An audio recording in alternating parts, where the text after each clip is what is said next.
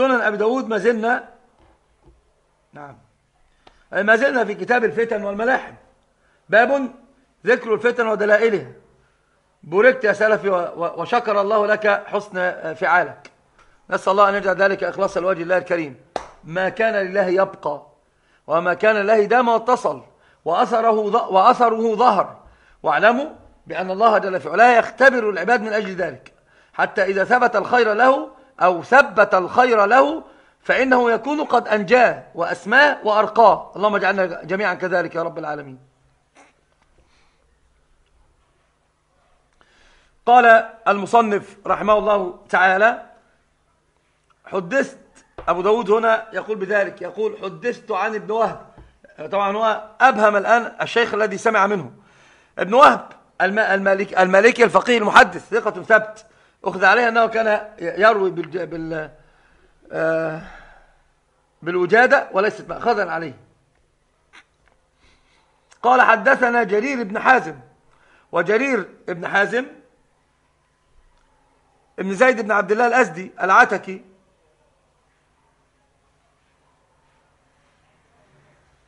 قال الدارمي عن يحيى بن معين قال ثقة.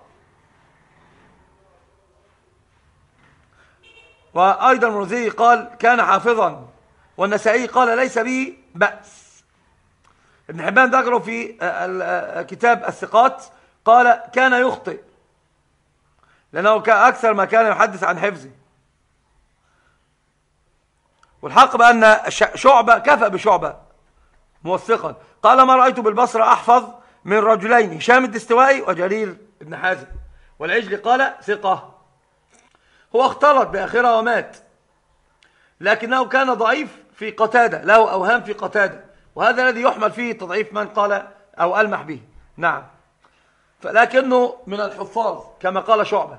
قال عن عبيد الله بن عمر الثقة وقلنا المصغر ثقة والمكبر ضعيف. قال عن نافع ونافع مولى ابن عمر وهو أثبت الناس في ابن عمر. أو هو من أثبت الناس في ابن عمر.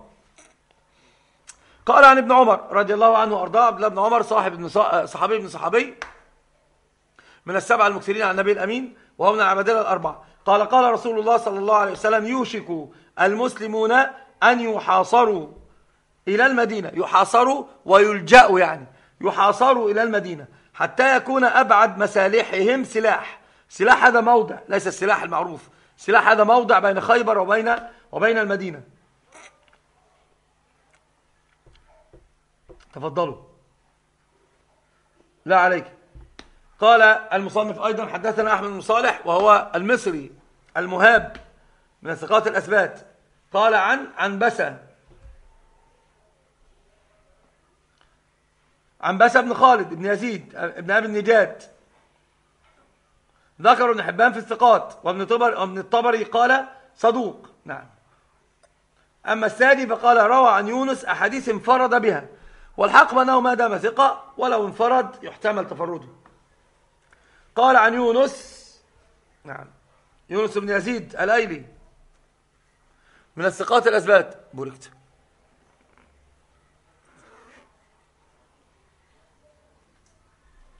قال عن الزهري والزهري وأمير المؤمنين في الحديث. اصبر لا تتعجل في الإقامة الآن. والزهري وأمير المؤمنين في الحديث. قال وسلاح قريب من خيبر. هو بين المدينة وبين, وبين خيبر. هذا حديث أيضا يبين لنا أبواب الفتن. قال الرسول صلى الله عليه وسلم يوشك المسلمون أن يحاصروا إلى المدينة. طبعا تعلمون بأن المدينة هي خير بقاع الأرض. وقد قال النبي صلى الله عليه وسلم من استطاع منكم أن يموت في المدينة فليمت وقال النبي صلى الله عليه وسلم المدينة خير لهم لو كانوا يعلمون. ولما جاءوا يبايعون رسول الله صلى الله عليه وسلم واجتووا جو المدينة ما استطاعوا أن يحتملوا بالمدينة وأرادوا رد البيعة ما أراد النبي صلى الله عليه وسلم. ثم لما, لما, لما رجعوا القهقري وتقاعصوا وتنك وتنكبوا الصراط قال النبي صلى الله عليه وسلم إن المدينة كالكير. كالكير هي تنقي الخبث. والمدينة حفظها الله جل في علاه من أعظم فتنة عرفتها البشرية من فتنة الدجال. فإنه محرم عليه أن يدخل المدينة ومكة.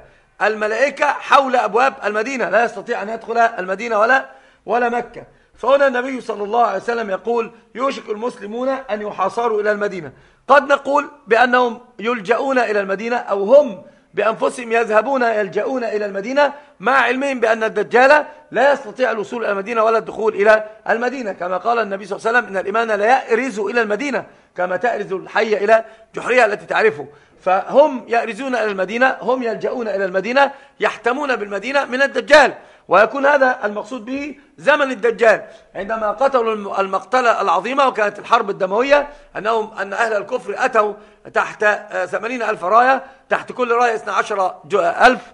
فحدث المقتلة العظيمة بين أهل الإسلام وبين أهل الكفران وانتصر فيها في النهاية أهل الإسلام. حتى صرخ الصارخ وقال وهم يهتمون بالغنائم صرخ الصارخ وقال أدركوا ذراريكم إن الدجال قد خرج فيهم. فهم عندما يسمعون بالدجال كما قال النبي من سمع بالدجال فلينأ عنه.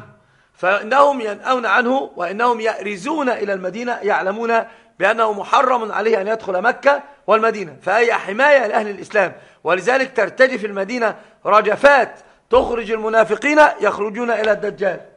ويبقى الخلص من المؤمنين بالمدينة. حماهم الله وعصمهم من فتنة الدجال وكذلك مكة. وقيل في قول النبي يوشك يمكن أن يكون غير فتنة الدجال يعني يكون الأمر بين يعني آه، آه، مقاتلة بين أهل الإسلام وبين أهل الكفران ويحاصروهم حتى يلتجئوا إلى المدينة أو يكون القرب من المدينة إلى ما قال بأن أقرب مسالحهم سلاح.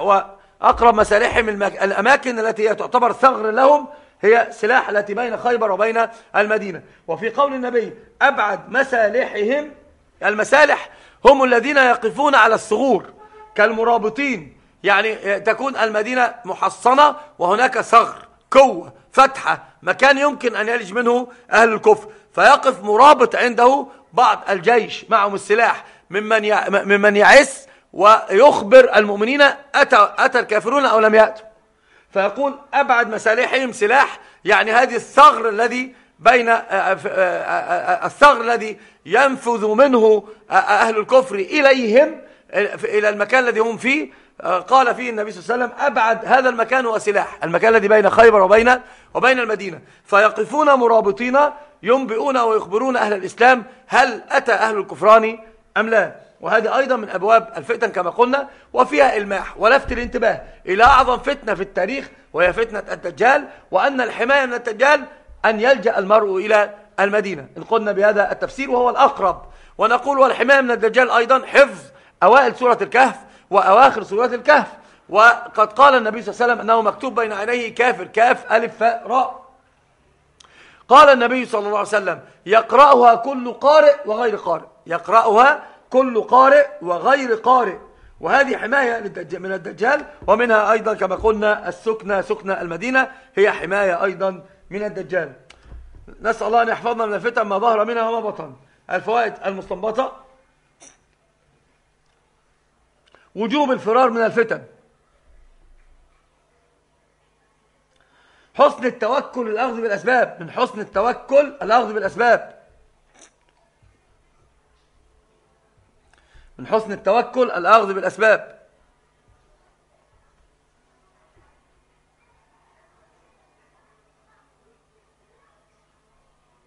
هذه تؤخذ بأنهم اتخذوا مسالح. نعم. فضل سكنى المدينة مهاجر النبي صلى الله عليه وسلم. فضل سكنى المدينة. لو في أسئلة تفضلوا نعم هو هو الأمر واسع في ذلك. اتقوا الله. للرجل يقول يرحمك الله. وللمرأة أيضا يقال يرحمك الله. الأمر, الأمر واسع اتقوا الله. الأمر واسع في ذلك. يقول هل يأسم من لم يأخذ بالأسباب؟ نعم من لم يأخذ بالأسباب يأسم لأنه بذلك أغفل الشرع فواجب عليه أن يأخذ بالسبب.